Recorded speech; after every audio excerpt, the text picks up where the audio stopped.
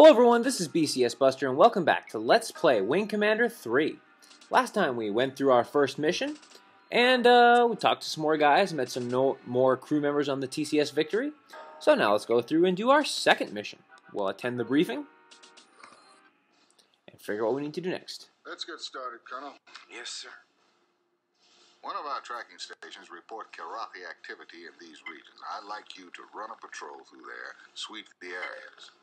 The station's report is sketchy. You might encounter some sort of Kilrathi cap ship. Go to it, Colonel. Yeah, seems easy enough. We can do that. So, these Yeah, but are notice- the mission objectives. Notice it looks like it's Orsini 1 in the mission objectives. Oh, and one last thing. Okay, well, I liked Vaquero's jam on his on his guitar. So when you now have a choice of all the different wingmen that we've spoken to to this point, Cobra and Vagabond and Vaquero, I like Vaquero's jam, so we're gonna go with him. Caterpillar. I like you on my wing for this one. Okay, we've Dismissed. seen that right. So, and again, it doesn't really matter which guy you pick. Um, I like to spread it out though amongst all of the amongst all of the uh, different wingmen that you can pick. Okay, let's talk to Rachel. Now, now we have a choice of a few different fighters that we can use. Now, this is the Hellcat 5. I actually rank this as the third. We have uh, three choices. I don't. I personally don't like this fighter. Um, this is my second favorite. This is the Thunderbolt 7.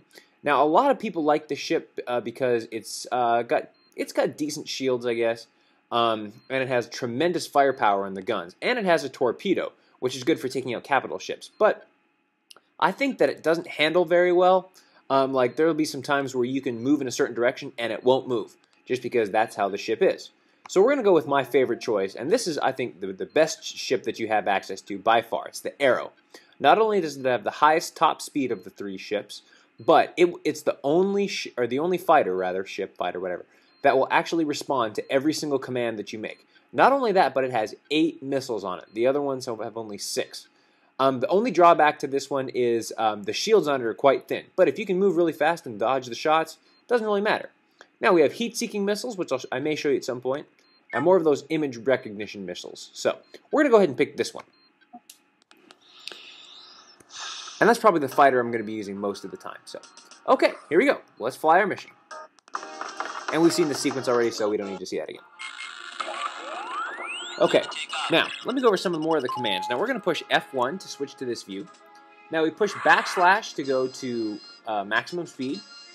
F for full guns, and I would like to have my communications um, communications window up. So we'll auto to the first zone, and we got nothing here.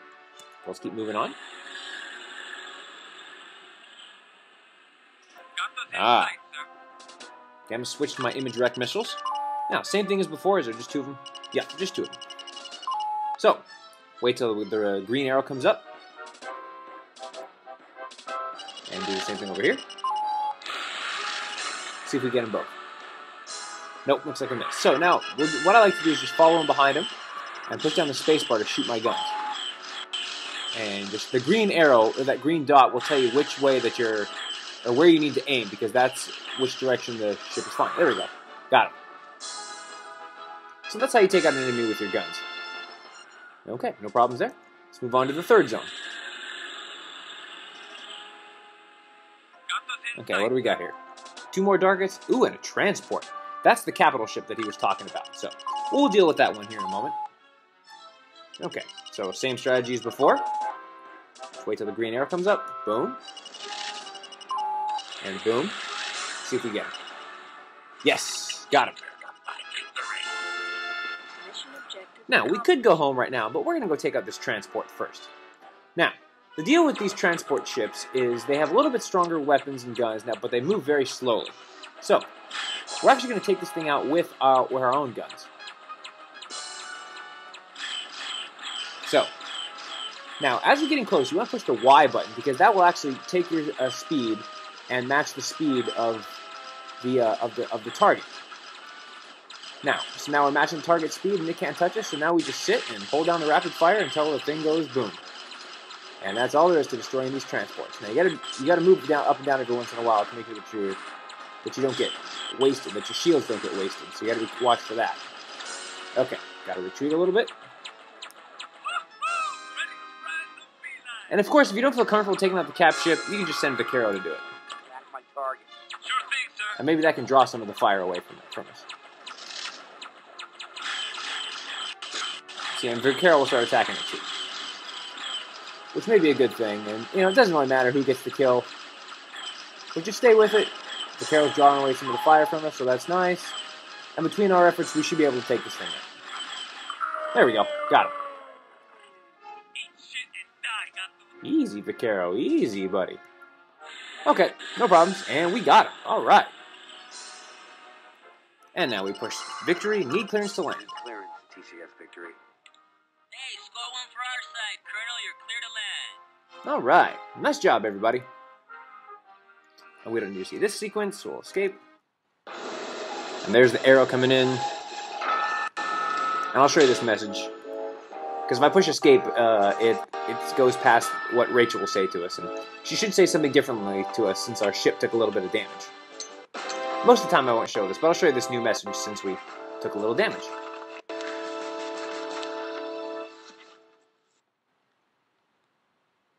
Oh, never mind. Pretty slick flying, sir. Okay, never mind. So, all right, nice job, team. Now we've seen this already. All right, now we could go attend another briefing, but let's see what's going on uh, in the rest of the ship there. Okay. Hey, there's Rachel just chilling out. Let's go talk to her. Ooh, she looks pretty cute when she's not in her in her garb there. Hey, Colonel. All right. Pull up a chair. I see. Let me know if I'm out of line here, but the word is there's a test pilot flying in on one of the new Excaliburs. Is that true? Oh, now, Commander, tell me everything. I hope it's true. I can't wait to get my hands dirty with one of those pups. you really like your job, don't you? I just hope the test pilot's not some prick who won't let me touch his equipment. I gotta give it to you. You really get to the point. And well, I never really cared much for gray areas. That's why I do what I do. Either an engine part works or it doesn't. Shane's don't lie. Not as much as people do, anyway. Should be a little hard on people. They gotta pass inspection, same as anything else. Of course, I got certain hours for that. And do we keep this schedule posted, Chief? Do you?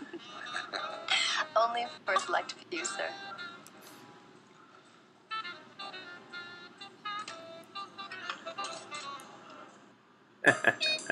Yeah, Blair, you go, boy. Now, the interesting uh, thing about the actress that plays Rachel in this is actually an adult film star.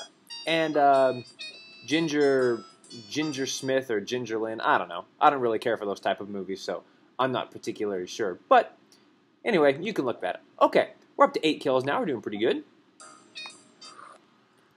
And nothing new here. Yeah, we now got a couple hotties on the ship. Okay, let's see if anyone's around here. Nope. Okay. Well, that's all we can really do for now, so. Alright. Well, um, I'm probably not going to have time to get into the next episode, so I'm going to go ahead and stop here. But uh, next time, we will continue on in the Orsini system and uh, continue to move along with the story. Now, I will say, uh, please leave comments and let me know if you're if you're enjoying this thus far, and if you think that this will be good, if you think the gameplay will work. The gameplay will get a little bit more uh, involved as we go along, for sure. So you need not worry about that. But that's where we are so far. But uh, until next time, this is BCS Buster signing off. Take care, y'all.